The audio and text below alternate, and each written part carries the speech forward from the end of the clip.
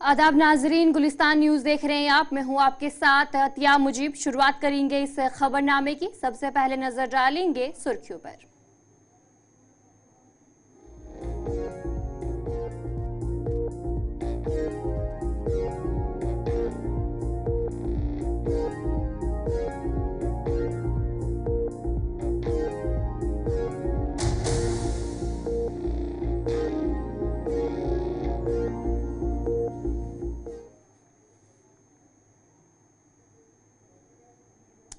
तो चलिए अब खबरें तफसील के साथ, जहाँ पर शुरुआत करेंगे बड़ी खबर के साथ। जम्मू कश्मीर असेंबली में आज भी हंगामा देखने को मिला, जहाँ पर दफ़ा 370 की बहाली पर करारदाद जो है आज पेश किया गया, जिसके बाद जम्मू कश्मीर असेंबली में एक हंगामा हुआ। दफ़ा 370 की बहाली पर करारदाद पेश किया गया। सुरेंद्र कुमार चौधरी ने करारदाद पेश की और वहीं पर एलओपी सुनील शर्मा ने करारदाद पर एतराज़ किया। यानी कि आज भी जम्मू कश्मीर असेंबली में हंगामा देखने को मिला। जम्मू कश्मीर असेंबली के पहले इजलास के तीसरे दिन आज भी हंगामा देखने को मिला।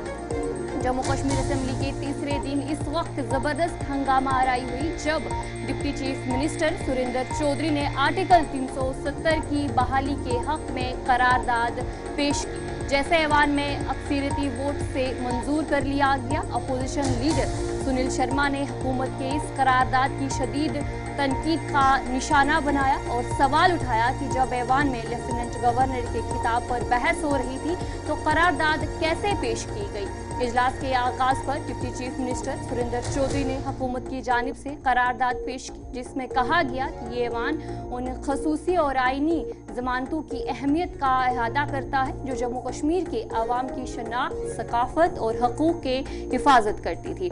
और एक तरफा तौर पर उनकी खात्मे पर तशवीश का इजहार करता है। करारदाद में मजीद कहा गया कि ऐवान हुकूमत हिंद से मुतालबा करता है, जो जम्मू कश्मीर के अवाम के मुंतखब नुमाइंदों के साथ बातचीत शुरू करे ताकि खसूसी हैसियत और आइनी जमानतों की बहाली के लिए इकदाम किए जाए और इन शकों की बहाली के आइनी तरीक़ेकार को तय किया जाए। करारदाद में इस बात पर भी ज़ोर दिया गया कि बहाली के अमल में जम्मू कश्मीर की आवाम की जायज़ मांगों का तहफ़ यकीनी बनाया जाए।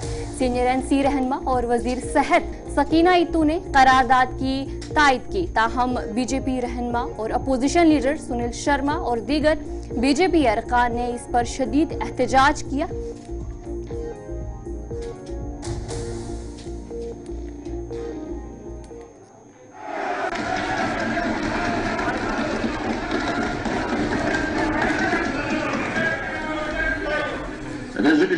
पास किया जाए, ये ये ये मोशन भी ऐवान के सामने। जो इसके हाथ में वो हाथ है।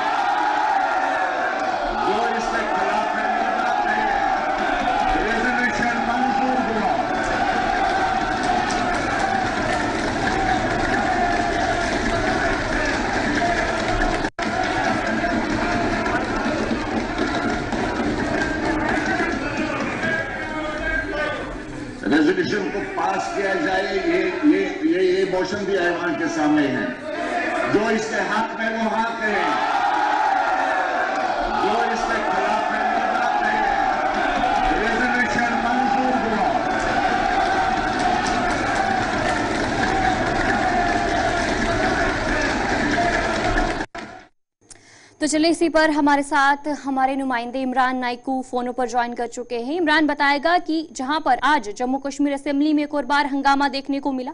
दफ़ा 370 की बहाली पर करारदाद पेश किया। उसके बाद मनसूख भी करना पड़ा असेंबली। तो क्या कुछ कहा जा रहा है कि कब तक फिर से बहाल किया जाएगा? पहले पंद्रह मिनट के लिए मुअत्तल कर दिया गया था और उसके बाद एक घंटे की बात चल रही थी।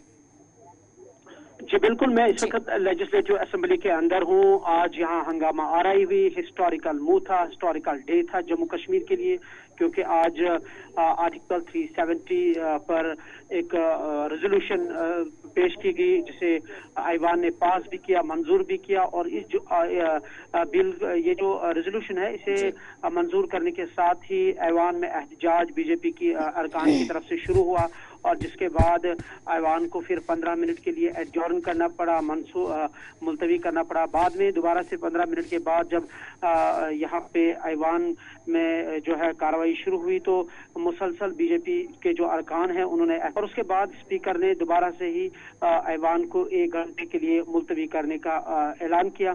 और तकरीबन अब एक घंटा मुकम्मल हो चुका है लेकिन बीजेपी के जो अरकान हैं बिल्कुल स्पीकर की जो चेयर है उसके सामने बैठ चुके हैं। वो अपनी जो उनकी अपनी चेयर्स हैं उन्हें छोड़ के वो बतौर एहतजाज ऐवान के बीचों बीच बैठे हैं अच्छा इमरान बताएगा कि अभी जो उस हालात बने हैं तो क्या लग रहा है कि फिर से असेंबली रिज्यूम की जाएगी या फिर एहतजाज जारी रहेगा?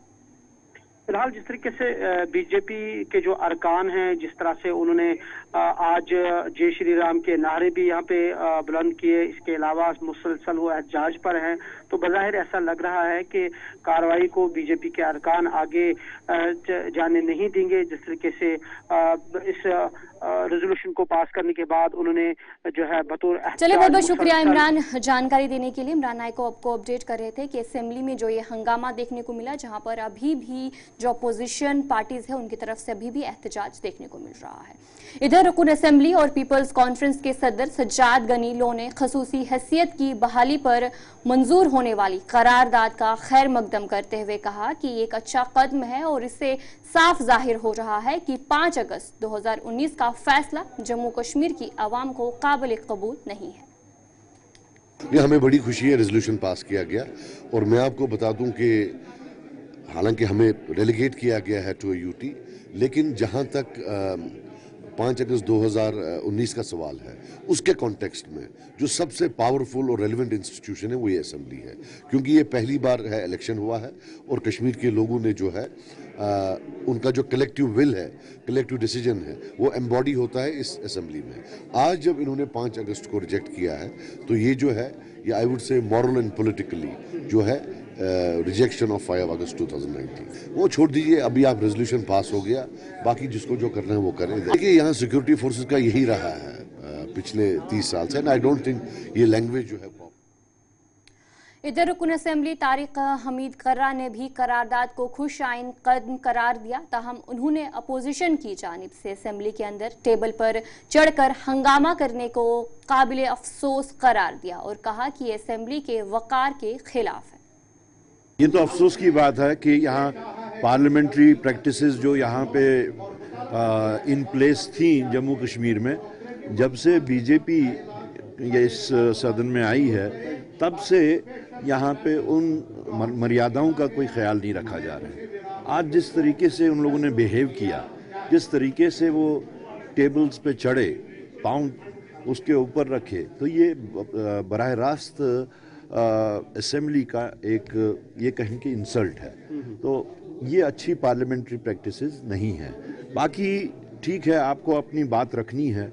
आप एक दायरे के अंदर रह के इखलाकी दायरे के अंदर रह के भी वो बात कर सकते हैं लेकिन जिस तरीके से उन्होंने बिहेव किया मुझे नहीं लगता कि ये कोई भी आ, समाज जो है इसको एक्सेप्ट करेगा। अब आ, मैं काफ़ी दिनों से इस बात पे बात कर रहा हूँ कि जब तक यहाँ पे हॉलिस्टिक अप्रोच नहीं लिया जाएगा जब तक यहाँ पे एक इंक्लूसिव अप्रोच नहीं लिया जाएगा ये दो पावर सेंटर्स का जो तरीक़ेकार यहाँ पे चल रहा है मुझे नहीं लगता कि ये मुल्क के हक में है या जम्मू कश्मीर के हक में है।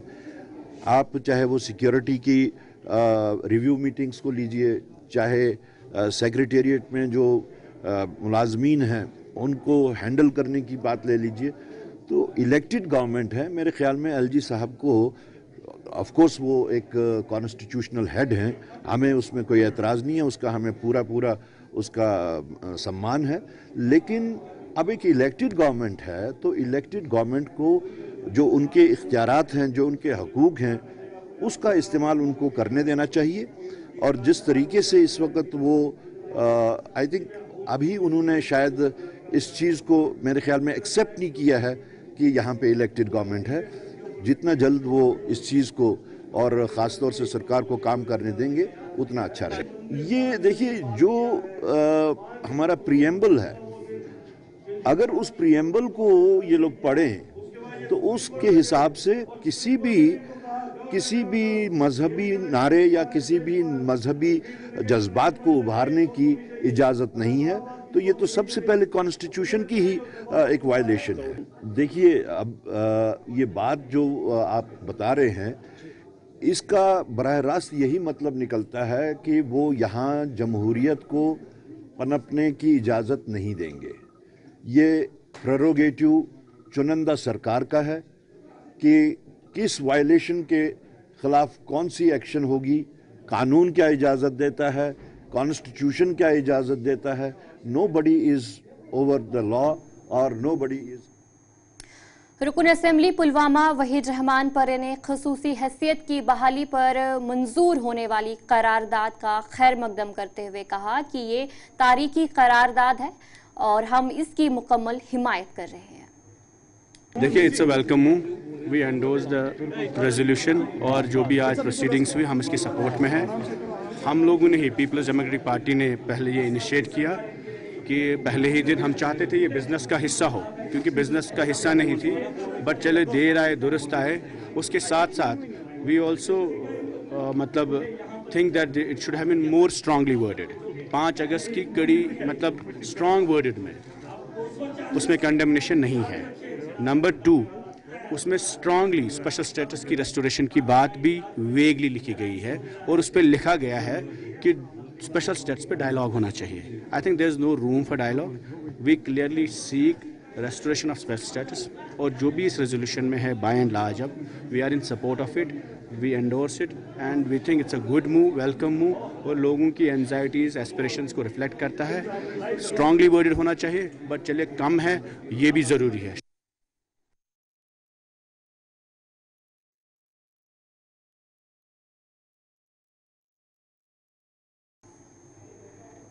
तो वहीं पर रुकन असम्बली तारिक गामी ने और दीगर रुकन असम्बली ने इस पर अपना रद्द अमल इजहार किया है। क्या कुछ कहा गया उनकी तरफ़ से? आपको सुनाएँगे। रिप्रेजेंटेटिव के साथ ताकि वो आईनी हक स्पेशल राइट्स का स्पेशल पोजीशन का रेस्टोर किया जाए जो हमसे पूछे बिना छीना गया।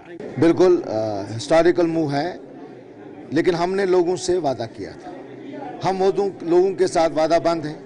क्योंकि हम लोगों के नुमाइंदे हैं और नवोदों के नुमाइंदे जिन लोगों ने हमें जिस शफकत, प्यार, मोहब्बत के साथ, इस उम्मीद के साथ हमें इस ऐवान में भेजा है कि उनकी एस्पिरेशंस को, उनकी उम्मीदों को, उनकी मुश्किल को कैसे दूर किया जा सके। तो हमने वही पूरा किया है। तो लोगों की बात जो थी, जो हमने पूरे मैनिफेस्टो में लिखा था और हमने लोगों को बताया था कि अगर हमारी हुकूमत आई, हमने हुकूमत बनाई, हम, हमें आप लोगों ने मेजॉरिटी दी तो हम हम ये खुशी का मुकाम है। दस साल के बाद कश्मीरी, जम्मू कश्मीर के अवाम के चेहरे खुशी से खिल उठेंगे कि रेजोल्यूशन पास है, हमें ये एक कोशिश है।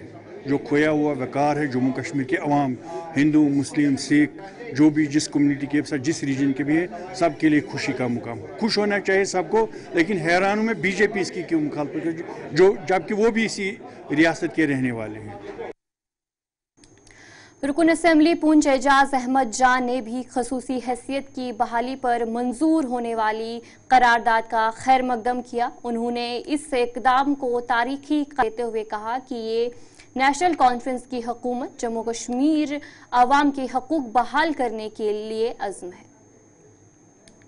देखिए ये एक हिस्टोरिकल मूव है और मैं इसमें सबसे पहले जनाब उमर अब्दुल्ला साहब को मुबारकबाद देता हूँ। जम्मू कश्मीर के अवाम ने जो मैंडेट हमें दिया है और जो उनकी सोच है, उसकी शुरुआत भी 370 पैंतीस से और स्टेटहुड से होती है और ख़त्म भी वहीं पे होता है। इन पूरी कोशिश होगी कि जम्मू कश्मीर में जो हमारा हक हमसे छीना गया है, उसको वापस लाया जाए। असम्बली के थ्रू जो रेजोल्यूशन आज पास हुआ है, मुझे लगता है पूरे मुल्क ने आज देख लिया है कि जम्मू कश्मीर की आवाम क्या चाहती है, और हमें पूरी उम्मीद है कि दिल्ली के पार्लियामेंट में भी जम्मू कश्मीर के मैंडेट की और जम्मू कश्मीर के आवाम की जो है वो इज़्ज़त रखी जाएगी और हमें, हमारा हक जो है वो इधर अपोजिशन अरकान असम्बली कर करारदाद को कानून के खिलाफ करार दिया और कहा कि सरकार तानाशाही कर रही है। उन्होंने कहा कि वो ऐसे किसी भी करारदाद को मंजूर नहीं होने देंगे। कोई रेजोल्यूशन पास नहीं हुआ है, गुंडागर्दी है। सरकार तानाशाही का रवैया अपना रही है। ऑपोजिशन मज़बूत है, किसी भी तरीके से ऐसे किसी रेजोल्यूशन को पास नहीं होने देंगे जो जम्मू कश्मीर की अक्सरियत को नुकसान पहुंचाता हो। हमने क्लियर कट किया है, आज वायलेशन हुई है बिज़नेस कुछ और था, चलाया कुछ और है। जाना दिल्ली था, लाहौर की गाड़ी पे चढ़े हैं, इनको इंसान बनाना हमें आता है। केंद्र सरकार ने मजबूती से धारा 370 को हटाया है। सुप्रीम कोर्ट ने उसको अथेंटिकेट किया है। ये असेंबली इतनी पावरफुल नहीं है कि उसमें चर्चा भी कर सके। 370 पे चर्चा भी नहीं होने देंगे। होना बड़ी दूर की बात है। ये अपने घर बैठ के जो मर्ज़ी रेजोल्यूशन पास करे। ऐसा कोई रेजोल्यूशन पास नहीं हुआ है, ना होने देंगे। कहाँ पास हुआ। और जो जिस 370 को दिल्ली के अंदर लोकसभा में खारिज किया गया, क्या ये हाउस को या असेंबली को इतनी पावर है उसको यहाँ पर पास करने की? अरे लहू लोहान किया पूरी स्टेट को। इस 370 ने, जिसको आज दफन कर दिया गया है, और दफन हुई चीज़ वापस नहीं आती। ये तो सिर्फ़ जम्मू कश्मीर खासकर कश्मीर के लोगों को भड़का रहे हैं, जिन बच्चों के हाथ में आज बैट बॉल है, पत्थर की जगह, जिनके हाथ में लैपटॉप है, दोबारा पत्थर पकड़वाने की कोशिश कर रहे हैं, अपनी रोटी सेक रहे हैं। एनसी और पीडीपी में ये कंपटीशन था। कौन पहले लेके आएगा? इसलिए आज एनसी ने पीडीपी से पहले लाकर कश्मीर की आवाम को खुश करना चाहा, पर आवाम समझती है, तभी जो वोट बैंक की रेशियो है जम्मू कश्मीर के अंदर, डेढ़ लाख वोट जो अपने अकेले भाजपा लड़ी है, उसको फालतू दिया है, यहाँ की जनता ने ज़्यादा दिया है, और इन सबने मिलकर भी भारतीय जनता पार्टी का मुकाबला नहीं किया। तो चलिए अब आगे बढ़ जाएँगे। जहाँ पर शुमाली कश्मीर की बात करेंगे तो वहाँ से एक बड़ी खबर सामने आ रही है। जहाँ पर शुमाली कश्मीर की बात करेंगे तो बांडीपुरा और लोलाब में जो एनकाउंटर है वो हुआ और जिसके नतीजे में दो मिलिटेंट हलाक और दो फोर्सेस अहलकार जख्मी हुए और दोनों मुकाम पर ऑपरेशन जो है इस वक्त बड़े पैमाने पर जारी है। शुमाली कश्मीर की बात करेंगे तो वहाँ से ये बड़ी खबर सामने आ रही है। बांडीपुरा और लोलाब में जो एनकाउंटर हुआ और इस वक्त वहाँ पर, दोनों मुकाम पर जो सर्च ऑपरेशन है, वो जारी है। शुमाली कश्मीर के बांडीपुरा और कुपवाड़ा में दो अलग अलग झड़पों में दो मिलिटेंट हलाक, जबकि गोलू के तबादले में दो फोर्सेस अहलकार जख्मी हुए। शुमाली कश्मीर की जिला बांडीपुरा के चौनपथरी जंगली इलाके में एक झड़प के दौरान एक नामालूम मिलिटेंट मारा गया, जबकि दो सिक्योरिटी अहलकार जख्मी हुए। पुलिस का कहना है कि सिक्योरिटी फोर्सेज ने इस इलाके में मिलिटेंटों की मौजूदगी की खुफिया इतला मिलने पर मुआसरा और तलाशी की कार्रवाई शुरू की थी, जिसके बाद मिलिटेंटों ने फोर्सेज पर फायरिंग शुरू कर दी, जिसके जवाब में सिक्योरिटी फोर्सेज ने भी फायरिंग की। और फायरिंग के तबादले के दौरान एक मिलिटेंट मारा गया। जबकि एक फौजी और एक सीआरपीएफ अहलकार जख्मी हुआ, जिन्हें अस्पताल मुंतकिल कर दिया गया। इधर जिला कुपवाड़ा के लोलाब जंगली इलाके में भी फोर्सेज और मिलिटेंटों के दरमियान हुई झड़प में एक मिलिटेंट हलाक हुआ। ये ऑपरेशन देर रात शुरू हुआ, जिसमें एक नामालूम मिलिटेंट हलाक हुआ। और इस वक्त जो खबर सामने आ रही है कि दोनों मुकाम पर जो सर्च ऑपरेशन है वो बड़े पैमाने पर जो है वो जारी है। जहाँ पर ये दो अलग अलग एनकाउंटर सामने आए बांडीपुरा और लोलाब में। और शुमाली कश्मीर की बात करेंगे तो वहाँ पर ही ये एनकाउंटर शुरू हुए और जिसमें इन दोनों एनकाउंटर में अभी तक दो मिलिटेंट हलाक हुए हैं और दो फोर्सेस जो अहलकार है, वो भी जख्मी हुए हैं, जिन्हें इलाज के लिए मुंतकिल कर दिया गया है और इस वक्त उनका इलाज चल रहा है। और वहीं पर दोनों मुकाम पर इस वक्त बड़े पैमाने पर जो सर्च ऑपरेशन है वो जारी है।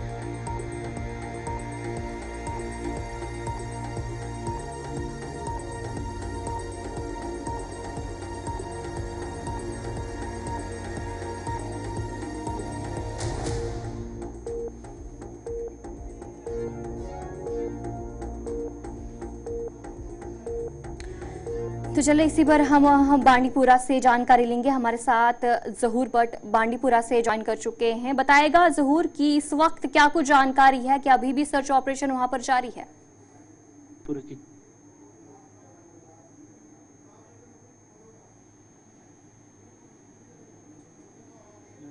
जहूर आप सुन पा रहे हैं हमें?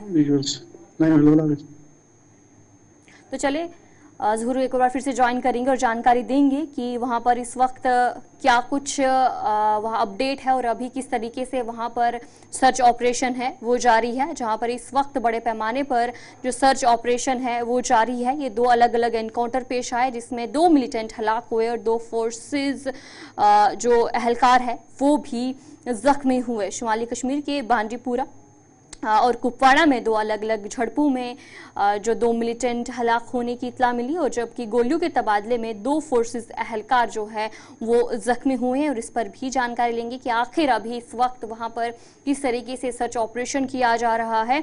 और शमाली कश्मीर की बात करेंगे तो वहाँ पर दो अलग अलग मुकामात पर झड़पों का सिलसिला है, वो देखने को मिला। और अभी भी इस और हम जानकारी लेंगे हमारे साथ साहिल शमीम जो है, वो ज्वाइन कर चुके हैं। साहिल, बताएगा कि इस वक्त क्या कुछ अपडेट है? जी, अतिया, मैं आपको बता दूँ कि लगातार जिस तरह से यहाँ पर जो है कश्मीर घाटी में इनकाउंटर्स हो रहे हैं तो वही अगर हम बात करेंगे, सदर ज़िले कुपवाड़ा के लोलाब इलाके में जो है दौरानी शब जो है फौज को मिलिटेंटों के साथ कंटेक्ट हुआ, जिसमें जो है एक मिलिटेंटों को मार गिराया गया है। हालाँकि बताया जाता है, ये इस जंगल एरिया में जो है दो से तीन मिलिटेंट छुपे हुए हैं, जिनको ढूँढने के लिए जो है जम्मू कश्मीर पुलिस और फौज की मजीद टुकड़ियाँ जो है वो वहाँ पर भेजी गई है। हालाँकि बताया जाता है कि इस इलाके को जो है पूरे इलाके को मुहासे में लिया गया है। घनी जंगलात का इलाका है। एक मिलिटेंट को मार गिराया गया है लेकिन उसका शव अच्छा साहिल बताएगा क्या अभी किस तरीके से वहाँ पर सर्च ऑपरेशन जारी है जहाँ पर जिस तरीके से एक मिलिटेंट को हलाक किया गया है और बाकी मिलिटेंट्स भी वहाँ पर हो सकते हैं। तो अभी किस तरीके से वहाँ पर सर्च ऑपरेशन जारी है? जी अतिया मैं आपको बता दूँ कि सुबह जो है जब सुबह सवेरे जो, जो ही जो है दिन जो ही निकला आया यानी कि धूप की किरणें जो ही, जंगल की ओर जो पड़ी तो वहाँ पर जो है बड़े पैमाने पे सर्च ऑपरेशन चलाया गया और जो है, एक मिलिटेंट को मार गिराया गया है। हालाँकि इसमें जो है, इस वक्त हेलीकॉप्टर के साथ साथ ड्रोन सर्विस भी जो है, वो भी इस जंगल एरिया को जो है, इस वक्त मॉनिटर कर रहे हैं। हालाँकि फौज के साथ साथ जम्मू कश्मीर पुलिस जो है, पूरे इलाके को मुहासे में लिया बड़े पैमाने पर सर्च ऑपरेशन जारी है और वक्त वक्त से जो फायरिंग का तबादला है, वो भी जारी है। हालाँकि बताया जाता है, इस वसी इलाके में, यानी कि इस वसी जंगलात इलाके में जो है, दो से तीन मिलिटेंट और हो हैं। चलिए बहुत बहुत शुक्रिया साहिल शमीम जानकारी देने के लिए। साहिल शमीम आपको अपडेट कर रहे थे कि लोलाब में इस वक्त बड़े पैमाने पर जो सर्च ऑपरेशन है वो जारी है और वहीं पर बांडीपुरा अब आपको लेके चलेंगे जहाँ पर हमारे साथ जहूर भट्ट एक और बार फिर से ज्वाइन कर चुके हैं। जहूर बताएगा क्या कुछ अपडेट है वहाँ का इस वक्त? हाँ जी बिल्कुल। बांडीपुर की जो करेंगे वहाँ पे जो। ऑपरेशन है वो कल से जारी है लेकिन अभी जो। एक मिलिटेंट की मारे जाने की खबर है जो ऑफिशियली भी कंफर्म हुआ एक दूसरी की जो तलाश है वो भी जारी है दूसरा जो बॉडी उसका भी तलाश भी जारी है हालाँकि उसके बाद बताया गया कि जंगलों में चुप गए हैं तो तब से लेकर आज तक ये ऑपरेशन बिल्कुल जारी था। और भी अगर हम बात करेंगे इस ऑपरेशन के हवाले से तो इसमें एक मिलिटेंट के मारे जाने की खबर है और वो ऑफिशियली भी कंफर्म हुआ है कि एक बॉडी एक बॉडी एक जी। चलिए बहुत बहुत शुक्रिया जहूर जानकारी देने के लिए। जहूर आपको जानकारी दे रहे थे कि वहाँ पर इस वक्त भी बड़े पैमाने पर सर्च ऑपरेशन है वो जारी है जहाँ पर बांडीपुरा की बात करेंगे या फिर लोलाब की बात करेंगे वहाँ पर इस वक्त बड़े पैमाने पर जो सर्च ऑपरेशन है वो इस वक्त किया जा रहा है। जम्मू कश्मीर के लेफ्टिनेंट गवर्नर मनोज सिन्हा आज मरहूम देवेंद्र सिंह राणा की रिहाइश पर पहुँचे, जहाँ उन्होंने सबक रुकन असेंबली को याद करते हुए खराज अकीदत पेश किया। इस मौके पर लोगों की एक बड़ी तादाद भी मौजूद थी, जिन्होंने देवेंद्र सिंह राणा को याद करते हुए खराज अकीदत पेश किया। इसी पर मजीद तफसीला दे रही हैं हमारी नुमाइंदा शिल्पा शर्मा। जनता पार्टी के वरिष्ठ और स्वर्गीय देवेंद्र सिंह राणा के घर पे इस समय एलजी मनोज सिन्हा पहुँचे हुए हैं। इन तस्वीरों में आप देख सकते हैं, जहाँ पे एलजी मनोज सिन्हा का काफिला स्वर्गीय देवेंद्र सिंह राणा के घर पे पहुँचा है। परिवार को सहानुभूति देने के लिए समय देवेंद्र सिंह, स्वर्गीय देवेंद्र सिंह राणा के घर पर एलजी मनोज सिन्हा पहुँचे हुए हैं और श्रद्धांजलि उन्हें अर्पित की जा रही है।